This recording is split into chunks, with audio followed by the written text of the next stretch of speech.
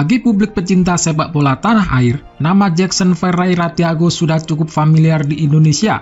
Jackson merupakan sosok pesepak bola rantauan dari Brasil yang sukses berkarir puluhan ribu kilometer dari tempat kelahirannya di negeri Samba. Sedotan yang terus digigit dan juga tatapan matanya tajam melihat ke lapangan adalah sedikit penggambaran tentang Jackson F. Thiago. Datang ke Indonesia 29 tahun yang lalu, pria asli Brasil ini sudah banyak sekali makan asam garam persepak bola nasional. Sebagai seorang pemain, bapak empat anak ini memiliki kemampuan yang istimewa saat jadi pemain dan saat jadi pelatih. Ia adalah pengatur taktik ulung. Bahkan, nama-nama semacam Christian Gonzalez atau Marco Simic pun tidak bisa menandinginya. Menjadi yang terhebat, tidak dilalui pria Brasil seperti membalikkan telapak tangan. Bisa dikatakan, perjalanannya penuh liku. Hidup di pinggiran daerah Rio de Janeiro, Brasil bukanlah suatu hal mudah untuk Jackson muda. Sebagai bocah belasan tahun, ia sering sekali lakukan tindakan kekerasan bersama temannya. Setiap hari ia berkelahi dan berperang dengan kelompok-kelompok geng yang jadi musuhnya. Lantaran hal tersebut bakat besarnya dalam sepak bola sempat tenggelam. Puncaknya adalah saat di usia 13 tahun Jackson masuk ke penjara di negara ia tinggal. Kisah buruk ini sempat membuatnya harus mendekam di balik jeruji besi selama dua hari. Melukai lawannya disebut-sebut jadi alasan dirinya masuk kurungan. Meski sempat terperosok ke dalam lembah hitam, namun berkat hal tersebut ia menemukan secercah hidayah dalam hidup. Kehidupannya mulai membaik dan melanjutkan lagi karir sepak bolanya yang sebenarnya sudah dimulai sejak tujuh tahun. Jackson muda adalah pemain berbakat di klub besar Flamingo. Potensi tersebut menjadikannya sempat satu tim bersama Serginho. Bahkan, bisa dibilang kemampuannya jauh lebih hebat dari legenda AC Milan tersebut. Namun sayang, meski memiliki kelebihan dibandingkan rekannya, tapi merekalah yang berangkat ke Eropa. Sebagai pemain asal benua Amerika, hasrat berkelana layaknya pesepak bola asal negara tersebut juga dimiliki oleh Jackson. Pada tahun 1994 ia akhirnya meninggalkan tempat kelahirannya yakni Brasil untuk bermain di Asia Tenggara. Dan dari sinilah kisah tersesatnya mantan pelatih Persipura ini dimulai. Mengaku dijanjikan bermain di Malaysia, ia malah mendarat di Indonesia. Tak ingin kembali dengan tangan hampa, ia akhirnya memutuskan untuk terus berjuang di tanah air. Memulai debut dengan klub asal Jawa Timur yakni Petrokimia, karirnya bisa dikatakan sukses untuk pemain muda yang habis sembuh dari cedera. Saat berkostum kuning, ia sukses raih gelar kedua Liga Indonesia. Setelah hanya puas menjadi juara kedua bersama Petrokimia, ia memutuskan untuk melanjutkan karir ke PSM. Namun, tak lama pada tahun 1996 dirinya hijrah ke Persebaya Surabaya.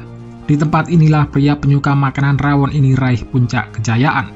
Gelar juara Liga dan pemain terbaik Liga Indonesia 1996-1997 jadi buktinya.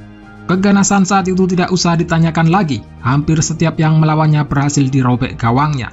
Pemain asing paling terkenal di seantero Surabaya ini mencetak 26 gol sepanjang perjalanan kompetisi Liga Kansas musim 1996-1997. Catatan ini membuat dirinya mendapat predikat penyerang asing tersubur sepanjang masa di Persebaya Surabaya. Dari 26 gol tersebut, beberapa dicetaknya melalui cara-cara yang unik dan memiliki tingkat kesulitan yang tinggi. Yang paling diingat tentu adalah gol akrobatik bicycle kick yang pernah dicetaknya tatkala melawan Bandung Raya di Surabaya yang berkesudahan 3-0 untuk kemenangan tim Bajul Ijo. Dan satu gol lagi diceploskan ke gawang Ansar Abdullah penjaga gawang PSM Makassar di partai semifinal yang berakhir 3-2 untuk keunggulan Green Force. Jackson merupakan tipikal pemain asing yang kuat dan dibekali skill sepak bola komplit. Saat krisis ekonomi melanda Indonesia, ia sempat berkarir bersama klub Cina Guangzhou Matsunichi dan merapat ke klub Singapura Keelang United hingga tahun 1999. Jackson kembali ke Persebaya Surabaya pada tahun 1999. Karena merasa usianya tak lagi muda, ia memilih pensiun sebagai pesepak bola pada tahun 2001 di Petrokimia, klub pertama sekaligus terakhir di Indonesia. Setelah itu, pria kelahiran Rio de Janeiro itu memutuskan untuk melanjutkan karirnya di lapangan sebagai pelatih. Tentu, bukan dengan cara instan. Jackson meretas karirnya menjadi sang juru taktik.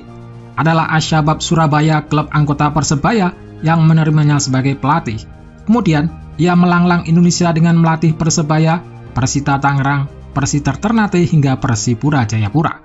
Menahkodai tim Bajul Ijo, karir kepelatihannya melesat dengan mampu membawa kesebelasan tersebut juara pada kompetisi tahun 2004. Meski sempat tenggelam saat membesut Persitara lantaran bertengkar dengan manajemen klub, tapi akhirnya Jackson kembali bangkit dengan membawa juara Persipura Jayapura di Indonesia Super League tiga kali. Berkat prestasinya itu, Jackson dititipkan amanat menjadi pelatih sementara timnas Indonesia ketika masa-masa kisruh PSSI pada tahun 2013 lalu. Selama menetap di Indonesia, Jackson F. Tiago sudah mendapatkan segalanya. Ia meraih berbagai trofi juara, baik sebagai pemain maupun pelatih. Prestasi itu membuatnya pernah didaulat menjadi pelatih timnas Indonesia saat menjalani kualifikasi Piala Asia 2015. Jackson juga menyandang status warga kehormatan Surabaya, kota yang kini jadi tempatnya menetap bersama keluarga kecilnya. Keluarga Jackson F. Tiago memang multikultural. Dia sendiri berasal dari Brasil dan menganut agama Kristen. Adapun istrinya, Nadira Bajamal adalah wanita keturunan Arab beragama Islam. Sementara itu, anak buah cinta keduanya Hugo Samir mengikuti ibunya menganut agama Islam. Meskipun demikian, perbedaan budaya dan keyakinan tidak mengurangi kebahagiaan setiap hari kemenangan tiba. Justru sebaliknya, perbedaan budaya membuat hari raya keluarga pesepak bola ini terbilang unik daripada keluarga lain pada umumnya. Menjadi sosok yang memiliki prestasi di dunia sepak bola Indonesia, membuat kehidupan pribadi keluarga pelatih berkelahiran Brasil ini juga menjadi sorotan. Beberapa waktu lalu, Dirinya membagikan kebahagiaannya lantaran sang anak, Hugo Samir menuai prestasi gemilang. Berbeda agama tidak lantas membuat keluarga pelatih yang berusia 58 tahun ini menjadi bercerai-berai. Jackson F. Tiago justru mendukung penuh keinginan dari Hugo Samir, anaknya yang beragama Islam untuk mencapai semua mimpinya. Salah satunya yaitu menjadi penghafal Al-Quran. Dengan penuh kebahagiaan, mantan pelatih Persebaya Surabaya itu membagikan momen tersebut di akun Instagram pribadinya. Bahkan, Dirinya juga menuliskan ucapan kepada sang buah hati tercinta yang telah menuai prestasi sebagai penghafal Al-Quran. Hugo Samir termasuk dalam 30 pemain yang dipanggil pelatih timnas Indonesia U20 Sintayong untuk menjalani pemusatan latihan atau TC. TC tersebut sebagai persiapan menghadapi Piala Asia U20 2023. Dari 30 nama, terdapat 5 pemain yang baru dipanggil Sintayong dan salah satunya adalah Hugo Samir. Meski ayahnya berasal dari Brasil dan masih berkeluarga negaraan Brasil, Hugo Samir adalah putra Indonesia. Hugo Samir diketahui lahir di Surabaya, Indonesia pada 25 Januari 2005 silam. Ia lahir dan besar di Indonesia. Tak heran jika ia berhak untuk membela Garuda Nusantara.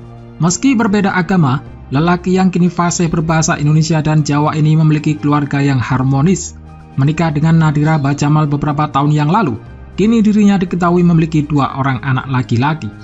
Bahkan, keluarga Jackson F. Diago yang kian harmonis tersebut kini memutuskan untuk tinggal di Surabaya, kota kelahiran sang istri tercinta.